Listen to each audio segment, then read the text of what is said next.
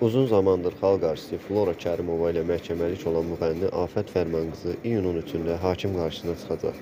Milli.az bizim mediaya isnadən bildirir ki, bu barədə Flora Kərimova sosial hesabında paylaşdığı postunda məlumat verib. Flora Kərimova Afət Fərmanqızının hava limanında saxlanılması ilə bağlı protokolu paylaşaraq bu sözləri deyib. Tutulub təhvil verildi. Bu da belə. Mənəviyyatı dayaz olanın vicdanının cəzası olmur. Onların cəzası tanrıları olan maddiyyatdır.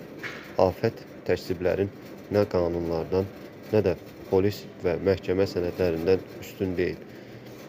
İyunun 3-də 16:30-da gələrsən Binəqədi rayon məhkəməsinə və hakim qarşısında izahat verərsən. Çəkisini bilmədiyin sözü ağzından çıxanda düşünməli idin. Nə deyirsən və kimə deyirsən. İndidən belə Ali Məhkəmə sədrinə müraciət etməyib. Nazirliyin qapısında yatsan da xeyirli olmayacaq. Əxlaqın qədəri ilə törətdiyin cinayətin prosessual qaydalarından səni heç kim xilas edə bilməyəcək. Gələcəyini düşünürsənsə toylarını oxu, başını dolandır. Sual olunsa belə mənim adımı ağlından keçirmə və bir də stiklərini Instagramda, TikTokda qapını bağla, sənin əl-ayağını dolaşmasınlar. Qanunla hər kəlmənin hesabını məhkəmə qarşısında verəcəksən.